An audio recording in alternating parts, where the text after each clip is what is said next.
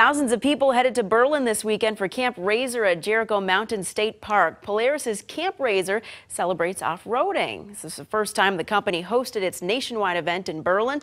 Organizers say 7,100 people from 26 states were there. The weekend-long event ended tonight with a band and some fireworks. Looked like a great night there.